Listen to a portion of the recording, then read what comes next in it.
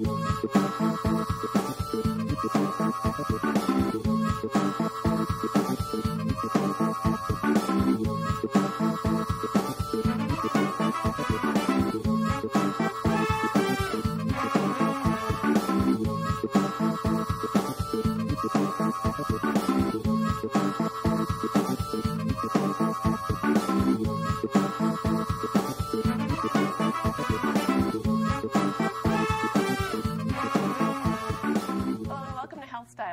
Connie Mead. When we think about cancer and our fears of it, we typically think about the more common cancers breast cancer, lung cancer, colon cancer, prostate cancer. But among the lesser known cancers is one that uh, responds well to early detection, and that is head and neck cancer. But this cancer also presents its own unique uh, characteristics and challenges in that it requires not only cancer treatment and follow up, but sometimes rehabilitation as well. So today we turn our attention to head and neck cancer and we learn what we can do to prevent its occurrence. Uh, joining me for our discussion today, I have two guests that I'd like to welcome. The first is uh, Dr. Arthur Lauritano, who is a Chelmsford physician with Mass ENT on Meeting House Lane, Meeting House Road. And also we have, again, uh, joining us today is Meg Lemire Berthel, who is from the Cancer Center at Lowell General Hospital. Meg is the Director of Oncology Social Work and Outreach over at the Cancer Center there. So I want to welcome you both to the program. Thank you. I thank you for coming in. You know, we've been in the middle of snow here, so I appreciate your trekking through all that to get here. Um, let's just start for a minute and talk about um, what an ENT is. Uh, you're a physician, and your specialty is known as ENT. So yes. why don't you tell us what that encompasses? Well, I'm an ear, nose, and throat surgeon. It is a surgical specialty. Uh, the other name for it is otolaryngology, but that's often too long for people to remember, so most mm-hmm. people call us ENTs. And our field, we deal with both children and adults. We still do a lot of tubes for ear infections. Tonsils and adenoids are still a very common surgery. We do nasal surgery, including straightening out deviated septum so that people can breathe more easily. We do sinus surgery to help with sinus problems. We do some ear surgery, uh, either for ear infections or for difficulty with hearing. And then we do a lot of what we call head and neck surgery, and that encompasses cancer surgery, also taking out benign growths in the head and neck. We do a lot of thyroid surgeries, which some ENTs do, sometimes general surgeons do that. Our practice is a bit unique where we do many of the thyroids in this particular area. ENT is also an interesting field because we do a lot of non surgical things. So we see patients for allergies, although in Chelmsford we have really good allergists, so we tend to refer patients to them. Mm-hmm. We see patients for hearing loss that is not amenable to surgery, and that's actually the more common type of hearing loss, sensorineural loss, where people need hearing aids. We see patients for just congested noses, sore throats, tonsillitis that may not respond to their initial treatment by a primary care doctor, not necessarily to the point where they need tonsillectomy, but just to treat those type of infections. We also get called in for various type of airway emergencies or for mm-hmm. bad nosebleeds. Uh, this morning I was at one of the hospitals for someone whose airway was beginning to close off from an allergic reaction to a blood pressure medication. Mm. So those are the type of things that we deal with. We do tracheotomies for people with airway obstruction or patients who have been sick in the ICU for a long time and are on a ventilator. So it encompasses basically everything just below the brain and just above the chest. Okay. And that's what we do. And we don't do any spine surgery on the back of the neck. That's more neurosurgery and orthopedics, so we keep things sort of to the front part of the neck and the head area. Okay, but it does sound like a lot. There's a lot that can go wrong there that Absolutely. you don't realize. And we don't do eye surgery. Many okay. years ago, it used to be eye, ear, nose, and throat. All right. Uh, eye surgery has its own set of specialties and subspecialties, so we work near the eye, but not in it. Okay. Well, today we're going to focus on head and neck surgery. So this is uh, head and neck cancer. I'm sorry, um, but so this must be something that presents itself from time to time in your practice. Yes. I would think. So, and um, it's something we have to think about. Uh, the patient who comes into my office who says, I have a sore throat that's lasted a little longer than my usual sore throats, and I see that they're a one pack or two pack per day smoker, mm-hmm. I'm immediately thinking this sore throat might actually be the early symptoms of a cancer. It may not just be a strep throat. Now, fortunately, most times it turns out just to be a strep throat okay. or a viral infection, but the onus is on us to make sure it's not something more severe. And if it is, that we catch it early and treat it, and we'll talk about that today. Okay, so when we say head and neck cancers, what cancers are these? I mean, is it just anything that happens in that area you were just talking yes, about? Uh, most specifically, when we talk about head and neck cancer, we do see skin cancers in the head and neck area. A lot of the dermatologists and plastic surgeons, as well as us, take care of that. We do see thyroid cancer, but really what we're talking about today is the group of cancers that we often link to smoking, although there are some other causes as well. So we're talking about cancer of the tongue, the floor of mouth area, which is just below the tongue, mm-hmm. where the mm-hmm. dentist puts the suction when they're working on your teeth, mm-hmm. uh, the tonsil area, the palate, which is the roof of the mouth, the hard palate, or the soft palate, which includes the uvula, the little dangly thing in the back of your throat, the voice box, um, the vocal cords themselves, or the area around the voice box, the beginning of the swallowing passage just above the esophagus, and sometimes even the upper esophagus as well. Uh, also, cancers in the neck. Occasionally, a patient shows up with a big mass in the neck that's a cancer that has spread from elsewhere in the head and neck area, and we have to try to find what's called the primary site where it came from. Sometimes we don't find the primary, it's just cancer that's spread to the neck. We see some cancers inside the nose, we see some sinus cancers. Uh, we see cancers in the parotid glands, which are the saliva glands, or in the submandibular glands here.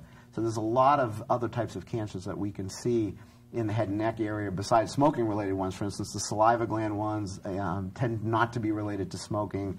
Certainly the thyroid ones are not. But the majority of the ones that we see excluding thyroid are cancer of the voice box, the tongue, the tonsils, all those areas that encompass a lot of our swallowing and speaking areas and breathing areas. Okay.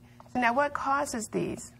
You know, Meg? Or do you have any? Well, it could be a virus. Okay. Could be a carcinogen. Um, basically, the head and neck cancers account for about 3 to 5 percent of all the cancers. Mm-hmm. We see it more in people over the age of 50 more so in men. But over the last about eight years, we've seen a new trend to the younger generation. And that may be directly related to the HPV virus, which I'm going to ask Dr. Lauritano to talk about after, because you're seeing that in the younger population. Okay, so it's not now, it's not restricted to people over, no, you said, a certain anymore. age or anything. So it's no, a wide age, more is. often in men, you say. Yeah. Um, and are there any risk factors associated with this? I the, mean, why don't you take it? Okay. Yeah. Smoking is the biggest yeah. one. Okay, smoking. When you look statistically at head and neck cancers, and, and, again, I'm going to exclude the salivary gland and the thyroid and the skin cancers, skin cancers being mostly from sun exposure. But when we look at the voice box cancers, tonsil cancers, all of those type of things, 85% of them are linked to smoking or to tobacco use. Yeah, okay. Uh, we do see, so for smoking, for instance, we're thinking about tonsil cancers, cancers in the back of the throat, and definitely the voice box, the laryngeal cancers, also the upper esophageal cancers. We think a lot about smoking. Smokeless tobacco uh, can cause cancer on the tongue, cancer in the floor of mouth area, cancer around, around the gum line itself. Cigar smoking and pipe smoking can be linked to cancers of the lips. Uh, particularly, I, I, had an uncle who used to let his cigar dangle from his mouth. He wouldn't right. smoke it, but he'd leave it there for hours. Those lead to cancers on the lips themselves. We also see tongue cancers from smoking as well. So 85% are linked to smoking. We think that smoking can actually cause head and neck cancer. It's hard to say what the mechanism is, but right. statistically that makes sense. Alcohol is considered a promoter, meaning that if you smoke, you have about a 15 to 20 percent chance of having head and neck cancer as compared to the non-smoking population. If you drink alcohol excessively and smoke, that goes up another 20 times. So we don't see alcohol as a sole cause. If someone just drinks alcohol and doesn't smoke, we don't see them as being at a higher risk for head and neck cancer. There are other cancers we worry about with that. Right. But if they smoke and drink together, we see the alcohol is promoting the carcinogenic effect of smoking. Um, the 15% that are not in the smoking group our patients, many of them have a viral cause, human papillomavirus or HPV. Now, this is the same virus that causes cervical cancer in women. Mm-hmm. And many of the cancers, even the ones that are related to smoking, we can culture those or we can test those for viral load, and we'll actually find that HPV exists in often about 50% of those cancers. And we see it a lot in tonsil cancers, for instance. We see it in some of the laryngeal cancers. And this is interesting for a few reasons. First of all, with many of these cancers, if the person tests positive for the virus, even if they're a smoker, if they stop smoking, we actually find those, those cancers tend to respond better to treatment if they're positive for HPV. The other aspect of it is that we find that patients who don't smoke, we now have an explanation for why many of those, many of those patients develop these cancers. It's because they test positive for HPV. And HPV is spread through sexual contact. We're now doing vaccinations in young kids oh, before right. they're sexually active to try to prevent the spread of cervical cancer. It started as a, vaccina- a vaccination for young women. We're now looking at giving it to young men because it's felt that they spread the virus to their partners and that's what causes the cancer. But we may potentially see a benefit as head and neck surgeons in that we may see a marked reduction in head and neck cancer in this younger population who tends to get it from human papillomavirus. Okay, well, you've covered a lot of ground there. Um, but let me just back up a couple, Sure. a, a little bit there. Now, in terms of this HPV vaccine, it's now not given to young men. Is that correct? As far as I know, it's not. I know the pediatricians are starting to recommend it. Um, someone- being that I'm not a pediatrician, Right. I don't know the exact uh, nature of how they're going about doing that. But I, I know that the brand name, I believe, is Gardasil. I know that's the main one that people are using, and I know that. Um, you know, I know they're certainly giving it to women, I think, before age 13 or before they're sexually Right. active. But I know there's talk about giving it to young boys as well. I don't know where that's There's stands some research now, on but I it, think yeah. it's mainly research at this point. So could somebody, could a young man, let's say, go into their pediatrician's office or their um, primary care physician's office and request it? At least Yes. to discuss it. At least to discuss it. Okay, okay, so it's, it's possible they could receive it if they felt that they were at risk Yes. for this virus. Okay. Um, and once you have the virus, there's nothing you could do to Get rid of it. rid of it. Okay, okay, so you just you can't just give them a little No. um, antiviral No, medication that's going to get rid of it. Okay, okay, so but then it turns into a cancer. Is It what you're can, saying. yes. Okay. The other thing I wanted to ask you talked about smoking and smokeless tobacco as being uh, primary causes of this as well. Is there, uh, not to say, I know smoking isn't good for you and tobacco's not good. Is there like a, a threshold that one crosses at a certain point or not? Or it's just. uh, Not just- that we know of. And I mean, the, Okay. the party line is tobacco use is bad for Yeah. you. Okay, so you try to get people we to. really try to get Yeah. people to stop completely. you know, Okay. we Or not see- start. Or not start, Right. exactly. Right, okay. That's the bigger trick Right. because years ago I used to hear that you had to smoke a few years before you were considered a smoker, even if you quit. Now the theory is if you have smoked more than six months, you are at some of the same risks that a smoker is. Right. So the trick is not to let the new kids start or the new adults start. Right, okay. All right, so no smoking is No good. And, smoking. Right, and and, then, no tobacco use. I give a lecture at uh, one of the local high schools about head and neck cancer and tobacco use, and it's it's fairly graphic. The teachers have asked me to show Mm. the pictures of the cancers and the surgeries that I do.